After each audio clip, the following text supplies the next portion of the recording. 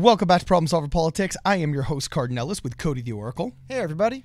And we got a really interesting lead here from Jonathan Herzog, one of the delegates that sued the state of New York over, um, sued with Andrew Yang over the primary in uh, New York. And there's a very bizarre claim of some kind of possible tampering by Google or the search engines of the information about him as a result of him having sued the state. There's something really bizarre going on, and we're trying to put a pinpoint on what it is. But th- this is strange. Cody, tell us what's going on.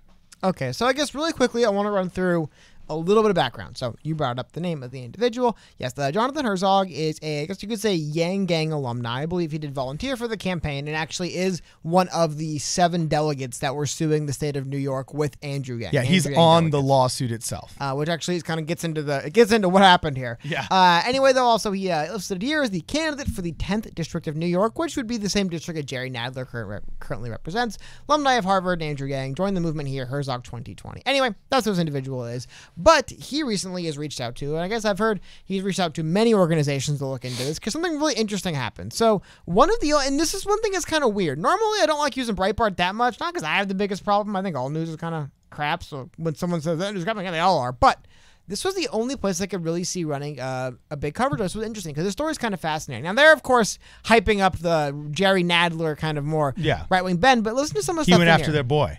yeah, but some of the stuff in here is really interesting and worth noting. So they mentioned the New York House candidate Jonathan Herzog, the leading Democrat challenger to House Judiciary Committee Chairman Jerry Nadler, suspects he may have fallen victim to a digital manipulation campaign following his campaign's first digital ad against Nadler. Uh, Herzog's campaign ad against Nadler was released Wednesday evening. I believe I'll show you the ad. I believe it was against Nadler. He just kind of says, "Hey, like I'm running against him, vote for me," but it was mostly celebrating the recent victory against the state of New York. Keep Yeah. that in mind. So they go on to mention that this is a statement that was released by his campaign on Friday, saying immediately following our campaign's release of its first digital ad for our race to unseat Representative Nadler, we noticed widespread Google News manipulation with thinly thinly veiled death threats on local news sites owned by the Sinclair Broadcast Group.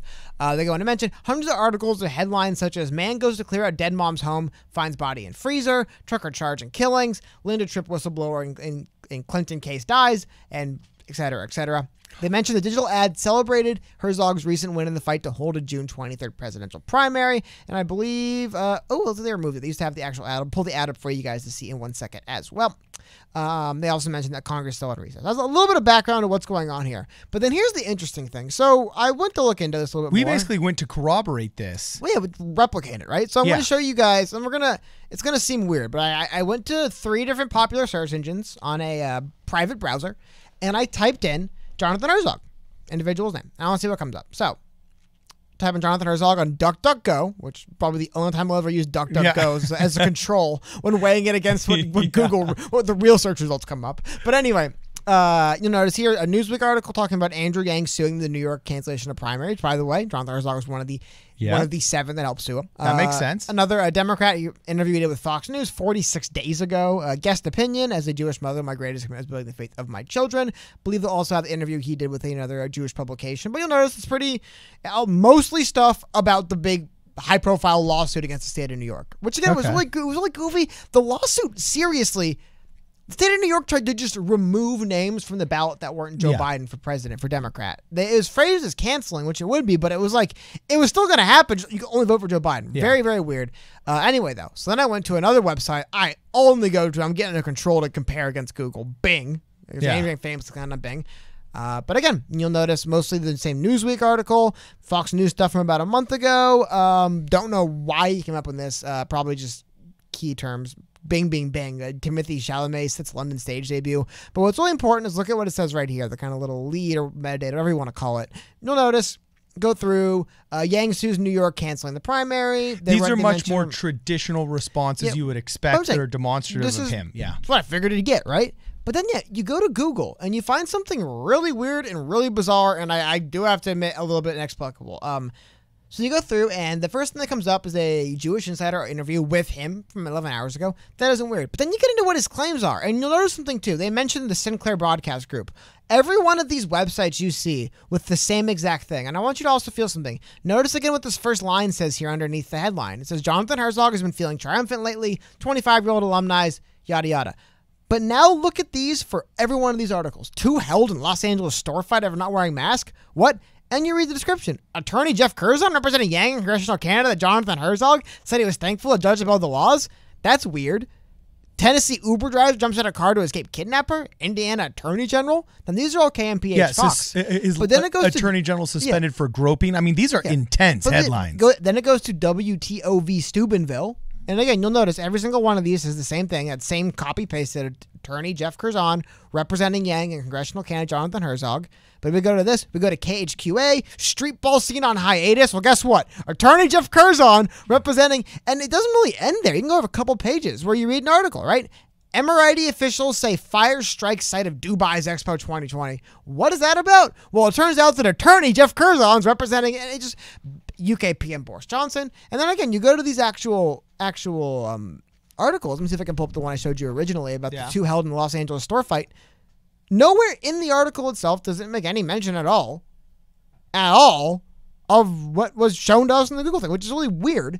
And then again, to get back to his specific claims against the Sinclair Group, you'll notice again, this is Fox 26, local affiliate owned by Sinclair Broadcasting. Yeah. Uh, KHQA7, local affiliates owned by Sinclair Broadcasting. Yeah. And then one more, WTOV9 Fox, owned by Sinclair Broadcasting. So I'll use the exact same website formula. It's actually really interesting to note. You'll see this.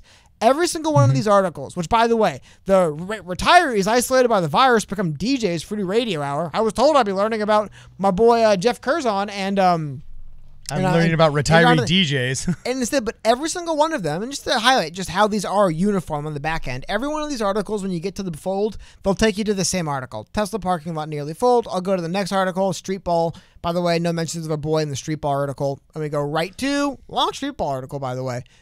Tesla parking lot. Another one, our, our, our fight over the masks. Tesla parking lot. So you might feel like uh, one of the kind of confusing thing a lot of these people do. All these articles, by the way, I think were written by AP and just piped into these websites. Um, but it is fascinating, man, that only on Google and only in Sinclair Broadcasting owned affiliates are we seeing this over and over and over and over. I mean, it just and they just yeah, some of this stuff is crazy. Angry woman at Whataburger drive-through cuts in line, damages another car. And it just keeps going. I mean, I think you can see like two or three pages in. Mike Pence task force members isolate after virus exposure. Stuff that has nothing to do with him. However, with that same line, and again, they're all these same Sinclair broadcasting affiliates with that exact same line there. That attorney Jeff Kurzon, representing Yang in congressional candidate Jonathan Herzog, said he was thankful the judge upheld the laws. That's with a veteran group, Brace for Surgeon Mental, and it just keeps going, going, going. Now, like I said, he's he's reached out to, and I want to make sure I can pull these up and just get. so Jonathan. Herzog has reached out Yes, to sorry. us. The candidate has reached.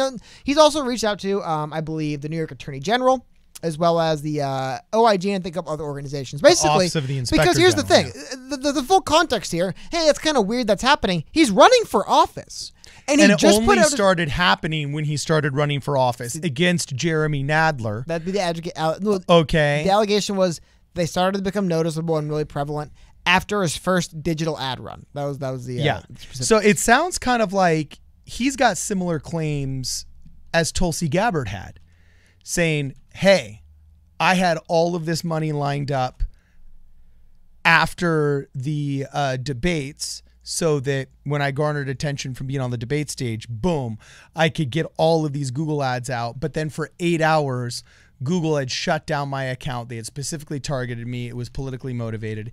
It sounds kind of like he's making a similar claim, right? Correct me if I'm wrong. He's saying, hey, hold on a second. Here I am running for office against a very prominent Democrat who's going uh, basically uh, one of the biggest antagonists besides Adam Schiff, uh, Schiff uh, against Donald Trump, okay?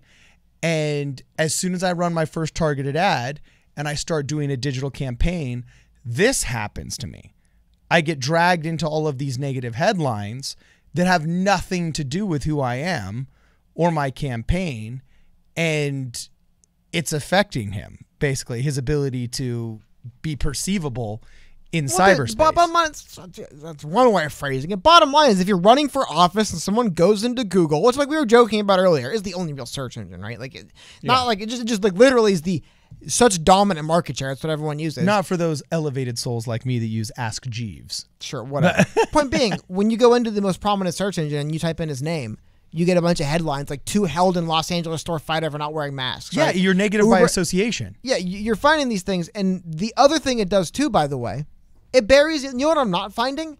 I'm not finding articles talking about how he worked with Andrew Yang and six other delegates to sue the state of New York and get other names put back on the ballot. You don't see that. See, it's not only the fact that it's bumping up the bad news; it's driving down the good things. He is driving down the news he wants you to see. Well, we couldn't find eight pages in good news about it. Yeah, but- we had to go to a completely Not even different that. Like I said, you go to any other search engine and they're going to tell you the thing everyone looks for. Oh, you're searching for Jonathan Herzog. You probably want to know about him and his lawsuit that he did with Andrew Yang at the state of New York. Even even Bing gets that right, man. Even Yeah. Bing is like, oh, you mean you mean the guy? But you'll notice with Google, it's it's these weird jumble. And on page one here, if you guys can see, um, it's a weird jumble of just random Sinclair Broadcasting local affiliates changing every single one of their article to mention him in the in the Google metadata and then mention him nowhere else.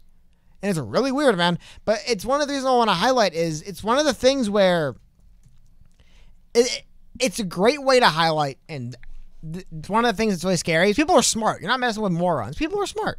All they have to do is think, "Wow, was a what a weird, funny glitch or error in our system." That's cleared up. Uh huh. But you see how remarkably effective it could be. I mean, on Google, Jonathan Herzog, the candidate, functionally doesn't exist anymore.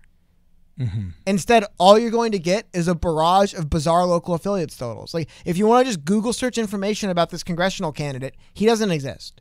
You're going to hear about the Dubai, Ukraine hospitals, uh, Georgia officials say the additional video evidence. Look, look at the, the arbor. Everything is. You're going to find everything but who this guy is and why he's running, and that is what one of the great ways they'll shoulder people out of the way who try to run against the the status quo. And you and I just They'll talked just about bury you. Yeah, you and I had just barely talked about in a previous video about Andrew Yang's voice being manipulated by Vice or possibly just being recorded so poorly that whoever did it didn't know the difference or else was just so wildly incompetent they put it up anyway. Do do you think that this kind of widespread digital misrepresentation could be due to incompetence over at Google or attributed to malice because he pissed somebody off by being part of that lawsuit against the Democrat stronghold and uh, Joe Biden's primary? Um, I, I hate to say it, but I think like functionally doesn't matter. The truth will always be that it was a mistake. Because you can't really. Yeah, the I mean, official truth. Unless you get the memo that says, "Hey, we're screwing this guy," right? Yep, this is how I'm doing it. It's like there's a, there's a movie Role Models, and they have the video footage of the guy, and he's standing in a warehouse, like, "I can't believe it, it's me, John, whatever, stealing televisions." You know what I mean? Like, like yeah, unless we get the smoking gun of them confessing on tape, yeah, it probably just is. Hey, weird mistake. For some reason, one random line in one of our articles got every one of our articles on every one of our websites had that in the Google description. Hey, really weird. Don't know why it happened. We fixed it now, though.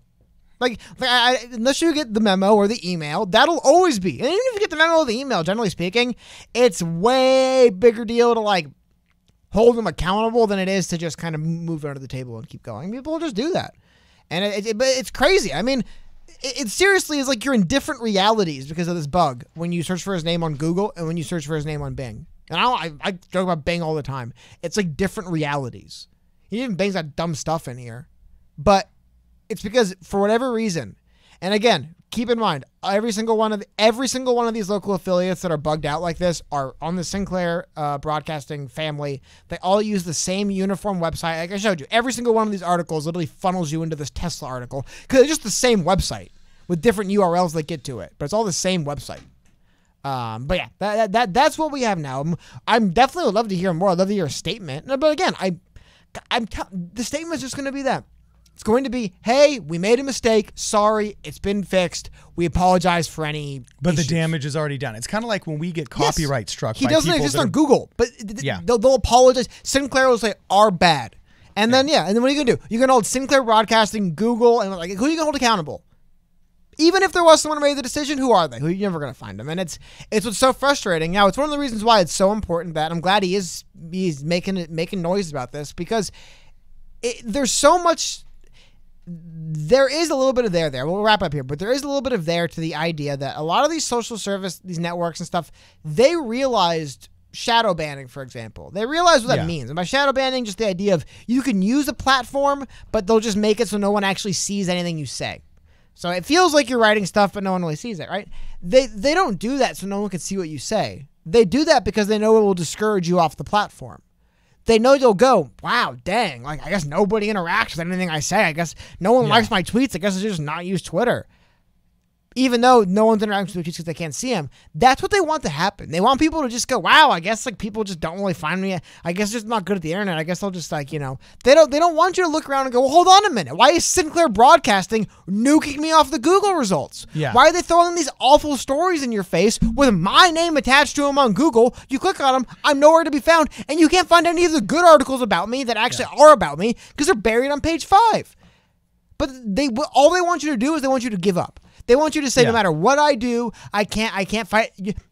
And you want you want a little subtle a little subtle hint you can't fight us. How about Sinclair Broadcasting working with Google? A little subtle Yeah. hint like yeah, good luck. good luck holding one of the largest news broadcasting corporations in the world. And like like technically you're talking about just two of the largest you know under the umbrella of like communications businesses. Yeah. Two of the largest ones as far as interfacing with people. I, mean, I Well, it's like Sinclair stuff, Broadcasting Group got big in the news about a year and a half ago because didn't a bunch of investors or friends of Steve Bannon's purchase it? And I remember there was that big meme floating around the internet where all of the local news affiliates were talking about how dangerous fake news is. And then somebody edited up like the 36 different stations nationwide that they control, all saying the exact same monologue, representing it as this kind of 1984 dystopian takeover of our, you know, thought police and, and propaganda and so on and so forth.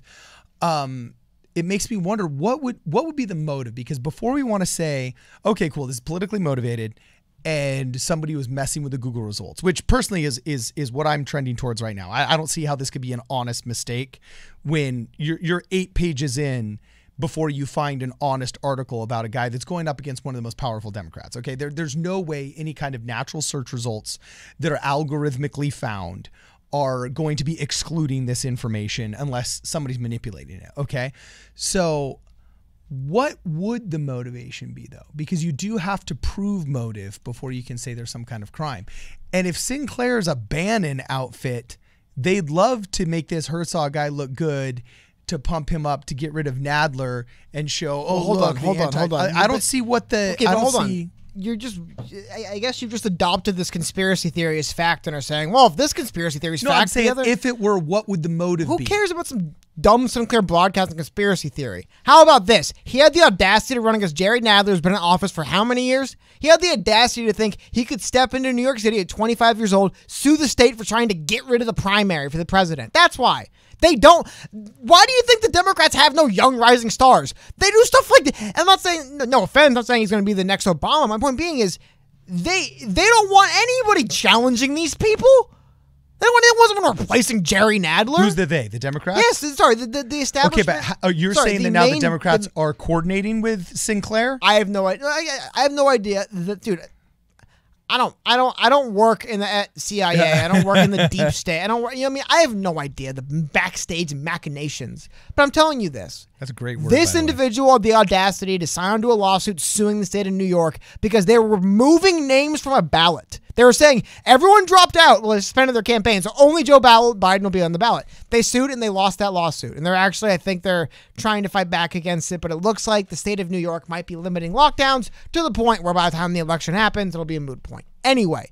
He's running as Jerry. How long has Jerry Nadler been in office? Like it's it's one of Yeah. those things. Like Democrats love talking about getting new blood in, but when people say, "How about these people that have been in They office?" They want to get new door knockers and new workers. No, but they would say, yeah. When people say, but these people have been in office forever. It's not even, not even. They were, they were talking about Jerry Nadler. It's not even to say all these people that are being replaced with like the worst politicians ever. But it's like you do realize the young politicians have to replace somebody, and I guess you can live in some fantasy land where the only young politicians for either party flip seats. But guess what? You're going to have to take your safe seats and put new people in them. You, Yeah. You ha- You can't just let somebody say, "Well, it's safe," so they could just sit there for 40 years, unless they're a good stooge and do what they're told. In which case, hey, that's a valuable asset, and they don't want someone like Jonathan Herzog coming in thinking he can win the seat away. I, I think that's the bigger thing is they don't want people thinking they could actually win. When I say they, I, I, I try to not say they, but the, the establishment politicians, not only the Democrats, but the political establishment, the people who've been in office 30 years, the people who do this stuff. I mean, you talk about New York City, that district, we looked it up in particular. What is it? It's like the Bronx and Manhattan, right? We're talking about places that Yeah. have had political influence for a while, right? Just as far as like people who represent. Anyway, my point being is they don't want new people coming in and shaking things up. I think that's the the reason why.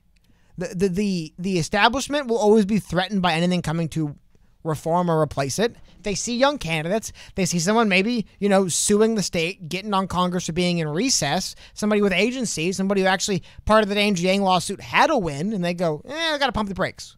Can't this guy thinking he can beat Jerry Nadler because we need him in office to do. That's the other thing, man. Like we can only a- operate from our perspective, from the perspective of like let's say Democratic establishment politics. Right there, they might say, "Hey, we have plans for Jerry Nadler. He's going to be doing this for us in a few years, and then we're going to be using Jerry Nadler to do this. Like he has a role in our in our organization here. We don't want people just replacing him." Yeah.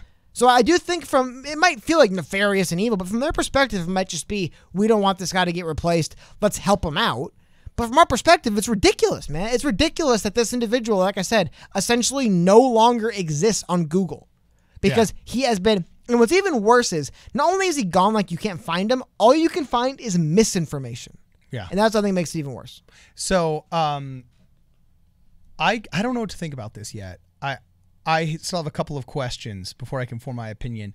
I don't see quite the connection between the Democrat Party and the Sinclair Broadcasting Group because obviously in the past they've seemed to be uh, at ends with each other. But then again, it wouldn't be the first time there's this unholy alliance between uh, both of these people, as as you put it. But it does smack of it smacks and stinks of foul play. It just smacks and stinks of foul play. This whole it, thing. it's only Yeah. it's only Sinclair affiliates and it's only Google. That's what's weird too. Yeah. Now it also is another reason why it's a better way of doing it. It's one of the it's the smart way of doing it because you're able to say, "Hey, weird issue on the Sinclair website." It just oh how unfortunate that there's so many Sinclair local affiliates with good SEO Yeah. that they all are pumped to the very. Because it's one thing if it happens, but it's like it's weird. You have to go to like page twelve of Google and you're like, ah, that's weird. They put some, but it's like page one top result stuff.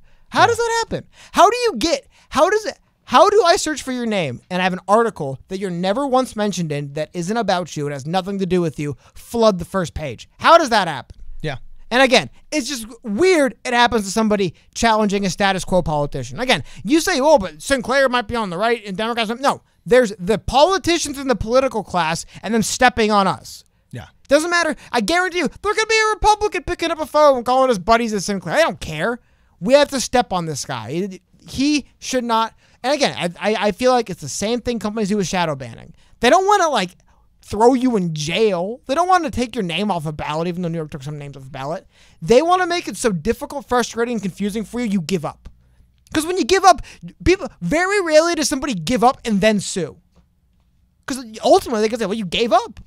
You just kind of stopped." Like, well, like, well, you know what I mean? Like, if they can give you to give up, you're probably going to stop fighting. You're probably not going to sue them. You're not going to make a stink about it.